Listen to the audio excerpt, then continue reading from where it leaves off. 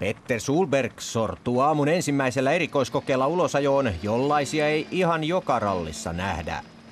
Ex-maailmanmestari pyrkii takaisin tielle, mutta huonolla menestyksellä. Katsojilla on matkassa hyvää tuuria roppakaupalla, sillä tilanteesta selvitään säikähdyksellä.